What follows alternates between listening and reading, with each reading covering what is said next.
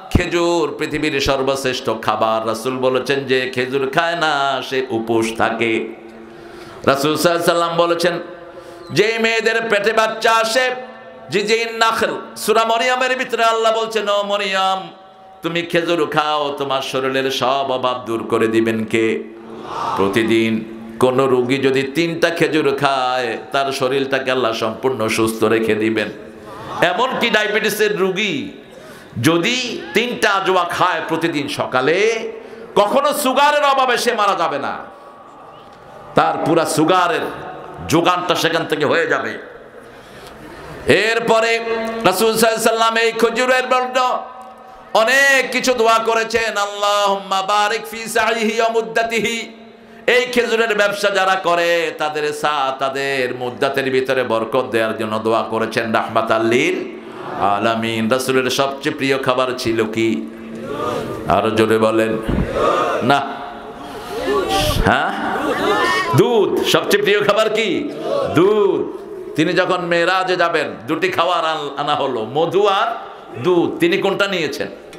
দুধ নিয়েছেন। দুধ হলো এমন একটা খাবার এটার ভিতরে সব রকমের ভিটামিন আল্লাহ দিয়েছেন। একজন মানুষ যদি শুধু দুধ খায়, অন্য কোনো খাবার না খায়, তার জীবন সুন্দর থাকবে।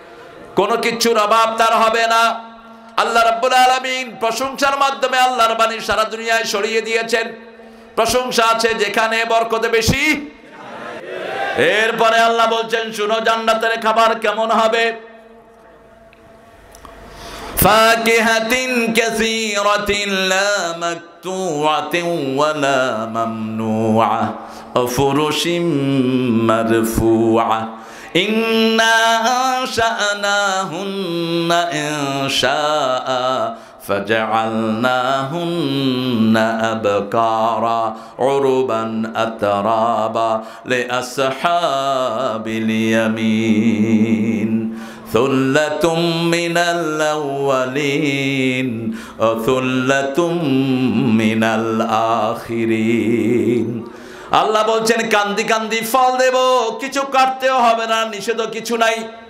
আল্লাহ রাব্বুল আলামিন বলছেন, তোমাদের জন্য আমি জান্নাতে ফল রেখেছি, নিষিদ্ধ কিছু নাই, শুধু মুখে দিবা আর মুখের সাথে মিলে যাবে। পেলেও নিতে হবে না। কুতুফুহা দানিয়া কুতুফুহা দানিয়া, তোমার মুখের কাছে এসে চলবে, তুমি মনে মনে চাইবা, মন থেকে মাথায় যাওয়ার আগে আমি আল্লাহ তোমার মুখে খাবার দিয়ে দেব। শুধু দুনিয়াতে তুমি একটু আমার হুকুম মানো, মৃত্যুর পরে আমি আল্লাহ তোমার সব মনের আশা পূরণ করে দেব। মা তোমার মন যা চায়, মন চাইবে মুখে আসার আগেই আমি সেটা বাস্তবায়ন করে দেব। মন চাইবে তুমি এখন আফ্রিকা যেতে চাও, মন, মনের সাথে দ্রুত গতি হবে জান্নাতের মানুষের। মন যেখানে যেতে চাইবে, চোখটা খুলেই দেখবে সে সেখানে বসে আছে। আরও আসতে কোন আল্লাহ আকবার।